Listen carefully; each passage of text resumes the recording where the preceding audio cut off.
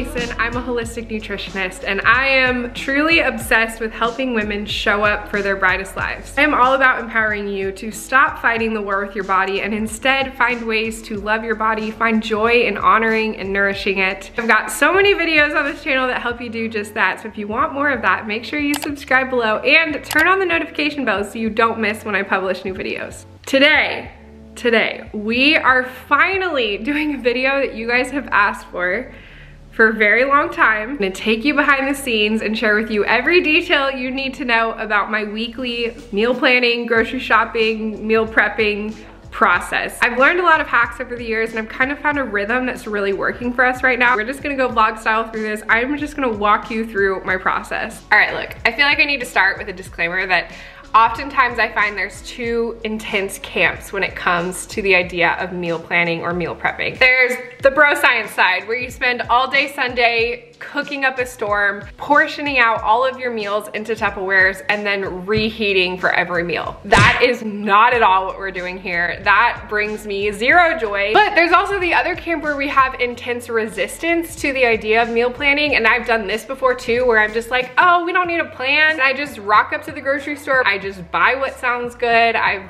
think, oh, we'll figure it out. And then when I do that, I find myself not eating proper meals. I just snack all day long because I'm too lazy to figure out how to put together a proper meal. I spend the end of a long workday feeling super flustered over figuring out what to eat because I don't have a plan and decision fatigue is real. I also find when I do that, I waste so much more food. This approach I'm sharing with you is honestly after just a few years of trying to find an in-between that works for us. This is about still eating intuitively, setting myself up for success, saving time during the week, being efficient, not wasting food, making healthy choices during the week as easy as possible, but still having some freedom to eat what sounds good and to enjoy the process of cooking. So whether you are a meal prep fanatic or you are someone who is super resistant to the idea, hang with me here as I share my system with you. I think you might be surprised at how well this works. My system starts with one of these. Because I'm picky, I created my own template for myself. I have shared this with you in a free download so you can print this off for yourself as well. I have multiple different templates in the download depending on what day of the week you do your meal planning and whether or not you like to plan out all of your meals and snacks or just your dinners. But I always start by assessing what do we already have on hand. Normally this is a part of our Saturday, but for the purpose of filming this video for you guys, I'm doing it here on a Thursday. So my fridge has a little more food in it than normally it would on a Saturday, but let's check it out. So let's see here. If you guys have watched me my what I eat in a days, you've kind of already gotten a sneak peek into how I organize my fridge and what this often looks like. Of course, we've got our gut shots over here. Right now we've got berries and dates, yogurt. I always have hard-boiled eggs on hand. This is actually some leftover bacon that we had cooked. A lot of eggs right now because I bought some at Costco and then also ended up buying some from a local farm. Last week I went to Trader Joe's and I bought this orange juice and I hated it so much that I actually went out of my way to buy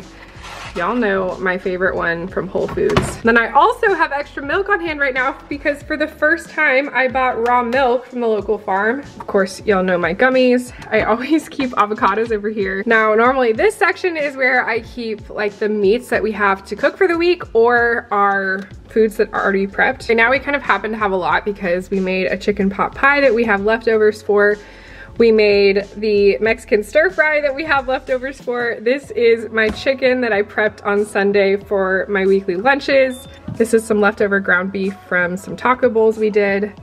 Now this is my cheese tub. I always like to keep some cheeses on hand for hosting, like for doing charcuterie boards and stuff. Right now I've got a cheddar block, and then I always have Pecorino Romano and Parmesan cheese on hand these ones I typically get at Costco. This is often like my meat sections. I've got some turkey breast and some charcuterie meat. Y'all saw this in the last vlog and then arugula. And then of course, we know raw carrots, always got some veggies. Bell peppers are almost always here because we do our Mexican stir fry basically every week. Love having cucumbers with my lunches. All right, now our freezer is also a little chaotic at the moment. We had a additional deep freezer in our garage that just went kaputs a couple weeks ago.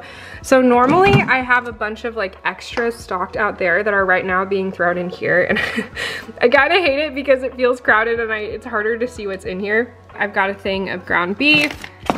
I've got two things of chicken breast. I do have an extra loaf of my bread when this one goes out. And we're also pretty stocked on like frozen fruit and veggies as well. After I take inventory, I will come and write down whatever we already have stocked. My biggest priority here is anything that's in the fridge that's going to go bad soon to make sure that I utilize that. But it also helps me to just write down what we have on hand, even frozen things, just acknowledging I'm covered on eggs, I've got milk, cheese, bread, things that I won't need to buy. And then the next thing is writing down anything that we have going on during the week. Y'all already know Wednesday nights we lead a marriage class. It means we have a very short window of time between when Cashmere gets home from work to when we have to leave. So I always make sure that Wednesday nights I'm planning something super simple. Normally it's leftovers. So our go-to for this, honestly, for like weeks on end, and it's fine because we're not sick of it, we make our Mexican stir fry dish on Mondays, and that makes enough for a double batch to where we will have leftovers that we can just pop on a pan, heat up real fast, and have those again on Wednesday. Now Friday night has been pizza movie night for us for honestly years. Unless we have something scheduled for a Friday, that is just our go-to. I actually order the Simple Mills pizza crust unsubscribe and save from Amazon, so that's always already stocked in our pantry. So we are covered on the cheese front, but I do need to pick up some arugula and prosciutto. We try to make a point of doing Thursday as our date night. Sometimes we will do at-home date nights. When we do that, I try to pick like a fun new recipe. We really make like an event out of cooking a new recipe together. But of course, sometimes we like to go out, maybe try something new, more than likely go to the same Mexican place we go to basically every week.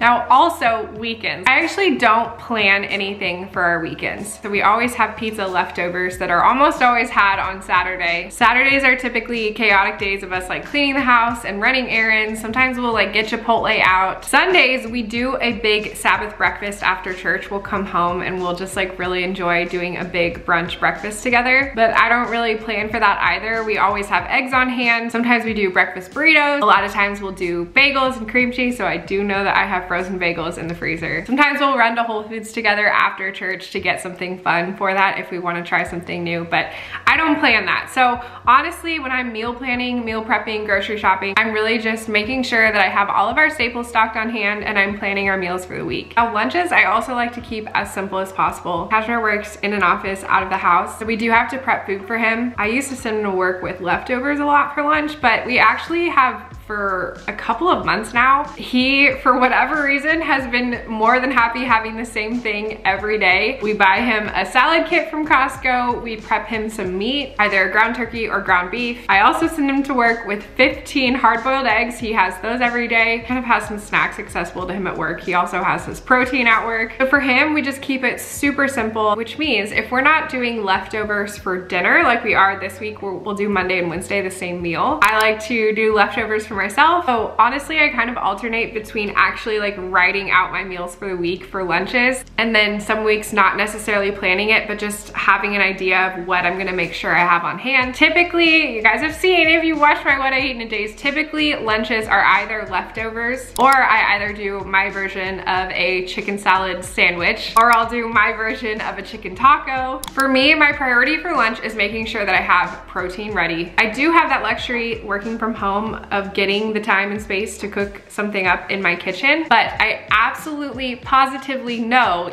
even though I could cook anything from scratch, I'm not going to eat lunch unless I have something mostly ready to throw together. I'm really bad about that. I know that I have to have something on hand. So I honestly like to just keep it simple by prepping shredded chicken breast and then letting myself kind of decide any day whether I want to turn that into a chicken salad sandwich or a taco or I want to throw it on some rice. Like, you know, it kind of just gives me options, but I'm really focused on making sure I have meal components prepped. I have some go-tos. They're easy, they're satisfying, they're delicious I actually look forward to them. That's a huge deal for me. Having something that I am excited to eat, that I look forward to, that's easy to throw together, that helps me so much when it comes to actually eating meals. It is really easy for me if I'm working from home all day to just not make lunch and snack all day and that is not at all good for my hormones, my blood sugar. I'm trying to not do that so it blesses me a lot to just have some go-tos, just keep it simple. Now again, you guys probably also know at this point that I keep breakfast pretty simple as well. I almost always just do scrambled eggs and fruit. Lately, I have been trying out fried eggs with a piece of toast. Recently, with the weather heating up, I found myself really craving smoothies and smoothie bowls, and I've tried that for breakfast, and it's just like not working for me. So I don't even write my breakfast down here because I just don't need it. I know what I want. Some days I'll switch it up, but I know it's eggs, it's focus on protein. Now for snacks, I have found what's been working best for me lately, instead of trying to like perfectly plan it out what I'm gonna have each day, I just keep a list over here of the snack options that I wanna make sure I have on hand. And then when it's time for a snack, I'll come down, the list will kind of trigger like what my options are. I'll decide what sounds good, what my body's craving at that point, and then I'll pull from whatever I have on hand. For snacks, I just make sure I'm getting a balance of protein and carbs. I try to get 10 grams of protein with every snack and then at least 20 grams of protein with every meal. I really try to focus on eating mostly whole food based ingredients, bioavailable proteins, vitamins, minerals, nutrients, things that are good on my digestion. And honestly, I'm also just really focused on what tastes good, what is appealing to me, what is satisfying to me. I cannot tell you how much that changed my life when I stopped just trying to eat what I thought I was supposed to eat, what was healthiest. And I actually just focused on like what sounds good to me, what is satisfying to me, what feels and tastes good, what leaves me feeling great when I finish a meal. It changes everything when you actually like look forward to what you're gonna eat. So after I've laid out our dinners or our recipes for the week, I will compare the ingredients I know I need for that with what I know I have on hand. And over here in the add it to the list section, I will write down anything I know that I need to grab from the grocery store. And then I also just keep a pulse on my staple. So maybe it's not actually in our dinner recipe, but I always have raw carrots on hand. Of course, I always have eggs, cheese, milk, orange juice, lots of fruit. I always keep some version of berries on hand, especially for my yogurt bowls, but then I'll often just try to buy whatever fruit is in season, whatever's looking good. A lot of times I end up going to two grocery stores every week. I almost always go to Costco because there's just certain things that I have a hard time buying anywhere other than Costco because I like to buy it in bulk. It's a lot cheaper for us to buy in larger quantities. But then I also can never seem to get everything that I need for the week at Costco because for example, like if I need onions or something, like I'm not gonna buy like 20 pound bag of onions from Costco. I'm realizing I think I have everything that I need from Costco. I'm stocked on my lemons. I'm good on eggs, which normally is something I buy in bulk at Costco. And then carrots, I really like to buy this big bag of carrots, but this typically lasts us two weeks and I can tell, you know, we've got enough to last us another week. My hard cheeses that I always buy at Costco, I'm good on those. Avocados I always get at Costco, I'm good on those. So I think I got lucky this week. I think we're gonna be able to get away with not going to Costco and just going to one grocery store. Honestly, it depends what I need, which store I go to. Typically, it's almost always Whole Foods or Trader Joe's. Y'all already know. There are a lot of things that I love to buy specifically from Trader Joe's, but I feel like their produce is not the best. Obviously, I like my orange juice from Whole Foods. There's just a lot of things that Whole Foods has a lot more options on that I just prefer to buy from Whole Foods. I will pay I'll pay a little extra to get really high quality. But I think based off what we need, I think we can do a Trader Joe's trip today. One of my other favorite hacks here, I always have this shared note in my notes folder with, I share it with Cashmere. I always have a running list for the different stores that we go to. So as you can see, like Costco, these are kind of a lot of the staples that I get frequently. Whenever I know that I run out of something or I need something, like for example, we're almost out of the boxed bone broth, I will uncheck it and it will bounce to the top and then I'll already know that that's something that I need to get at Costco. Now, if I was going to Costco today, I would come here and just like uncheck, oh, I need lemons, I need bell peppers, whatever. I'm not, so we're gonna go right on down to Trader Joe's. As you can see, I already have a couple things here that I've listed here that I've run out of that I know I need from Trader Joe's. But now I'm just gonna go in and add what is on my list.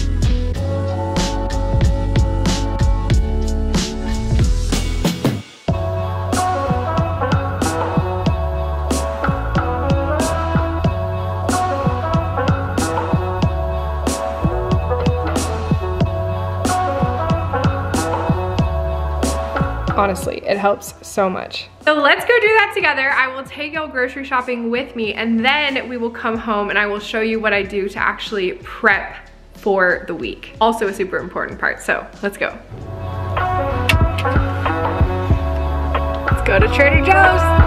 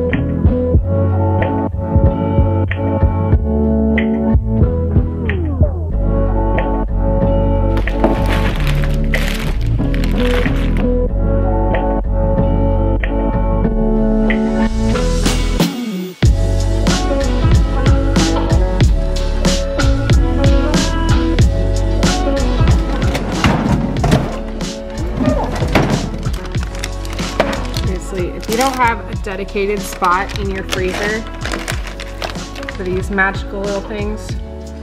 What are you doing?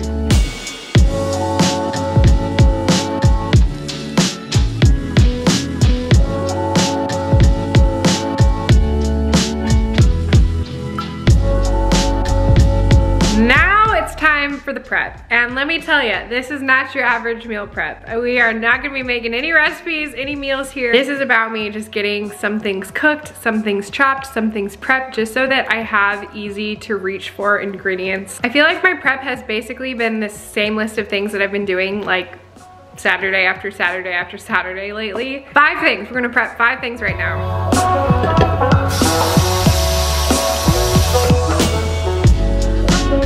All right, first thing up here, we're gonna hard boil some eggs. This is one of the reasons I told you guys in my Costco video that even though these are not pasture raised, I end up buying these from Costco a lot because we go through so many eggs. So I make 15 specifically for Cashmere. He has Five days in the office, he eats three eggs every day. Even though I do scrambled eggs in the morning, I do like to have hard-boiled eggs always on hand just for like an easy protein source, quick snack. So I typically end up making about 20 hard-boiled eggs to have for the week, 15 for Cashmere in the office, and then five to have at home. I have actually had multiple of you comment on my kitchen essentials video telling me that you use your Instant Pot to do hard-boiled eggs. I've never tried that. I might have to try that. While we wait for that to boil, I'm gonna tackle this turkey. This is specifically for Cashmere's lunches. If I get the turkey packs from Costco, they're one and a half pounds and that's what I send him with for the whole week. At Trader Joe's, they only had one pound, so I just bought two and figured I'll leave a little bit extra at home and then maybe I'll do something for one of my lunches with ground turkey.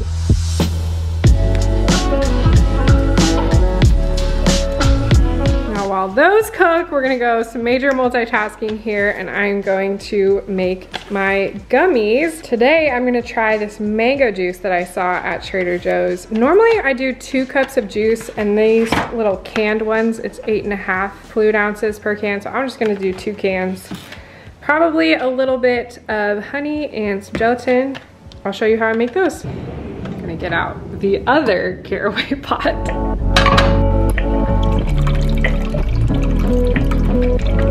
Always use this gelatin from Further Food. And the secret is spreading it out as evenly as you can and then you have to let it bloom. I'll show you how crazy this looks, but it's part of the process.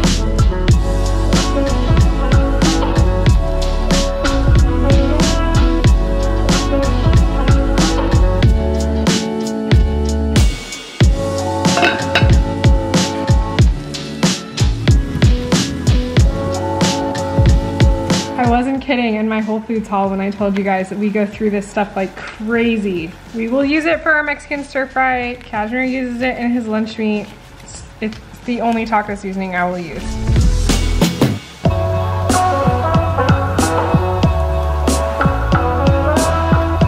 Now the turkey is cooked, it's just cooling and I will show you guys. That is a bloom gelatin. Doesn't it look like a brain? That's when you know it did what it was supposed to. So now, after I've mixed that, I will put this on a hot burner. I'm gonna put it on low, but since it was already warm, it's gonna be fine. And then I will just mix this in. I know it looks kind of like applesauce right now. It looks like clumpy and weird. So all you wanna do is heat it up enough to get it like liquidy and smooth. This is also when I add the honey, if I wanna add any honey. See how it's already getting smooth? Just gonna add two tablespoons of local honey.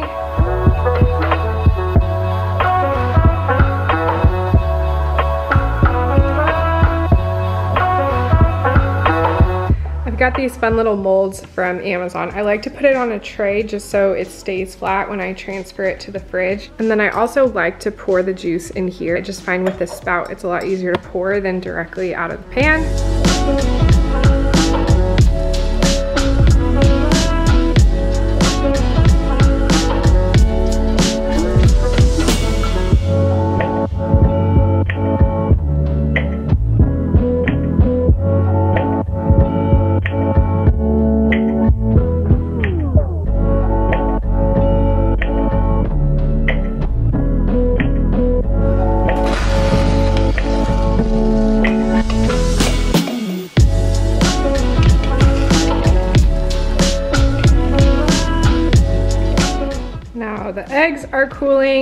Cooling it is time to cook the chicken. This is always one of my main priorities is to prep cooked shredded chicken in the fridge. I'm doing extra because I'm actually cooking some for the enchiladas that we'll have on Tuesday so that on Tuesday I can just assemble the enchiladas and bake them. I won't have to cook the chicken ahead of time.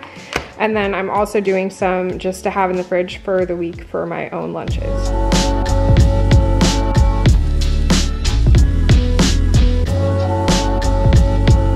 After the eggs have done their ice bath, I will just dry them off. And I actually put 15 back in this per Cashmere and I like literally send this with him to work. He puts it in there, you know, break room fridge and he peels them himself. It just makes it easy. And then I always put some in a bowl for us to have here in our fridge.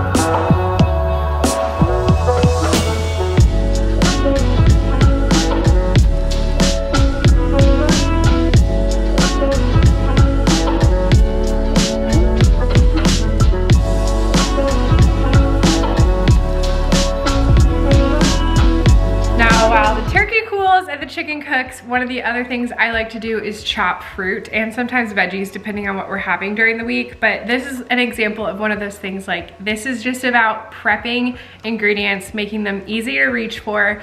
I like to have fruit with most of my meals during my snacks. So just having something already ready, cut up in the fridge makes a huge difference. I just got this melon. I feel like I might need to give this a few days to ripen, but this pineapple I got a few days back now at Costco and I think it's finally ready to chop.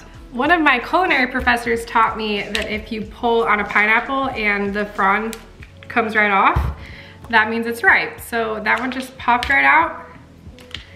Good sign.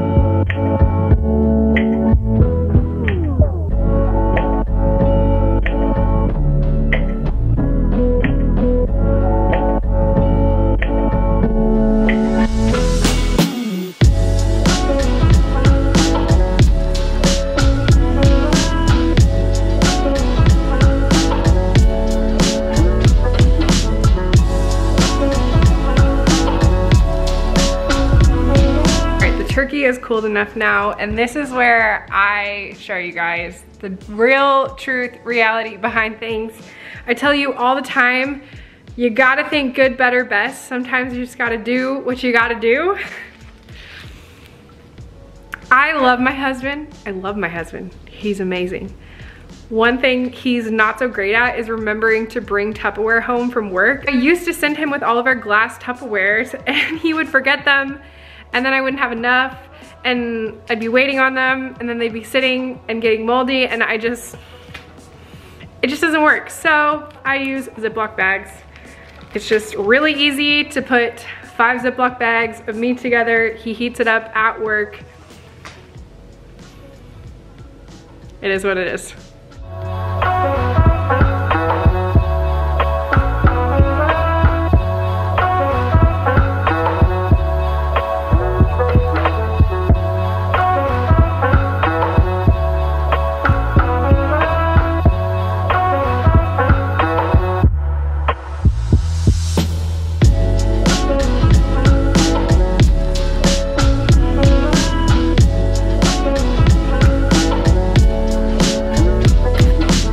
Okay, the chicken is seriously nothing exciting. I literally just cook it in some bone broth. I don't even really season it or anything, but I like to do that so that I can do whatever I want with it. Can dress it up when I actually assemble it into our meals. I find it is way easier to shred after it's cool, so I normally just pop it out, let it cool. So many dishes.